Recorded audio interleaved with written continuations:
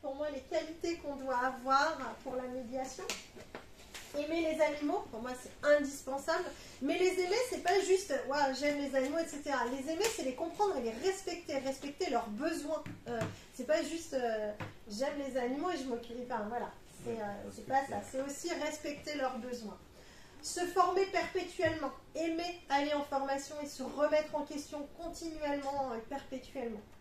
Être en bonne santé, ne pas être allergique aux animaux ou, aux environnements naturels de l'animal. C'est vrai que si on est allergique à la poussière et qu'on veut travailler avec euh, ben, des animaux qui mangent du foin, c'est peut-être pas évident pour la bonne santé de tout le monde, ça peut être difficile. C'est un choix. Voilà, ça peut être un choix, mais euh, il, faut vraiment être sûr que tout, comment dire, qu'on soit capable de pouvoir assumer jusqu'au bout. de disposer d'une bonne condition physique parce qu'effectivement, c'est quand même fatigant d'entretenir au quotidien des animaux. Euh, tout le monde en a autour de la table, mais c'est vrai qu'étrangement, le week-end, ils boivent et ils mangent aussi. et même pendant les vacances. Donc, il va falloir effectivement prévoir de s'en occuper.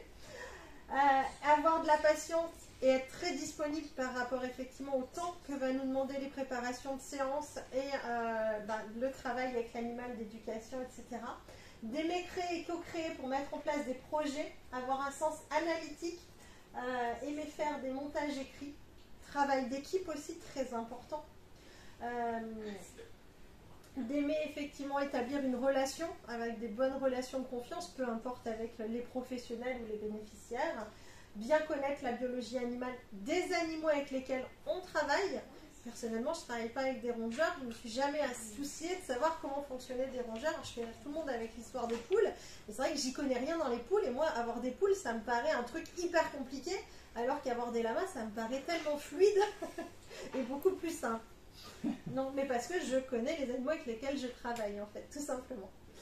Euh, avoir un bon sens de l'observation aussi pour savoir effectivement si nos animaux sont en difficulté, qu'il n'y ait pas une problématique euh, quoi que ce soit de difficile, euh, voilà, sont une boiterie, etc., un changement de comportement, donc il faut les connaître parfaitement aussi. Et puis s'adapter et avoir un bon sens de la psychologie animale. C'est, je pense qu'il y a encore plein d'autres qualités à noter, mais que j'ai noté celle-là, c'est celle qui, à mon sens, me semble le plus important. Donc je vous remercie d'avoir regardé cette vidéo. Et si vous avez envie de me soutenir, n'hésitez pas à liker la vidéo ou à vous abonner en activant la petite cloche de notification. Et je vous dis à bientôt